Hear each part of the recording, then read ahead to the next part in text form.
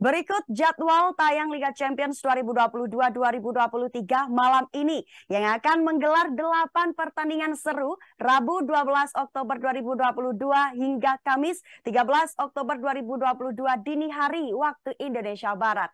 Liverpool mencoba mencari pelampiasan setelah menelan kekalahan menyakitkan dari Arsenal di Liga Inggris. Sementara itu pertaruhan krusial akan menghiasi laga antara Barcelona versus Inter Milan yang berlangsung di Stadion Camp Nou. Rabu 12 Oktober 2022 live di salah satu stasiun televisi nasional dan media streaming Indonesia. Ada Napoli versus Ayak pukul 23 lebih 45 waktu Indonesia Barat. Lalu di waktu yang bersamaan pada pukul 23 lebih 45 waktu Indonesia Barat. Melalui media streaming Indonesia ada pertandingan antara Atletico Madrid versus Klub Brugge. Selanjutnya Kamis 13 Oktober 2022 pukul 2 dini hari waktu Indonesia Barat. Hanya ada satu pertandingan yang live di salah satu stasiun televisi nasional dan media streaming Indonesia, yaitu pertandingan antara Barcelona versus Inter Milan.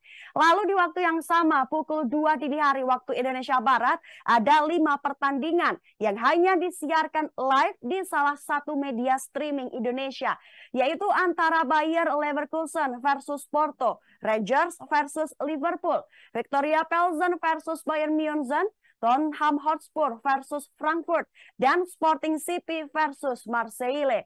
Delapan pertandingan tersebut Liverpool terburu Maksud kami delapan pertandingan tersebut Liverpool berburu korban pelampiasan dan duel hidup mati Barcelona di Camp Nou. Dan Rangers lah yang dipastikan akan menjadi calon korban pelampiasan kekalahan Liverpool tersebut.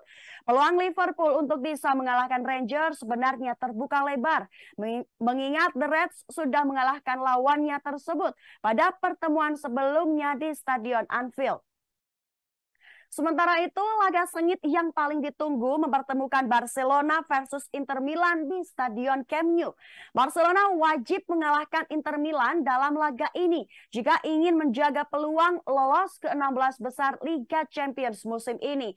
Tidak ada alasan apa pun bagi Barcelona untuk tidak mengalahkan Inter Milan jika tidak ingin terpeleset ke Liga Eropa dua musim beruntun.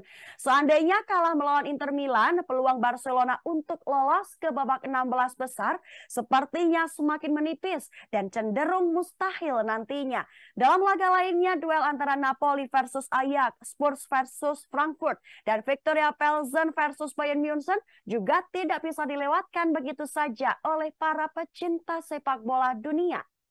Terima kasih sudah nonton. Jangan lupa like, subscribe, dan share ya.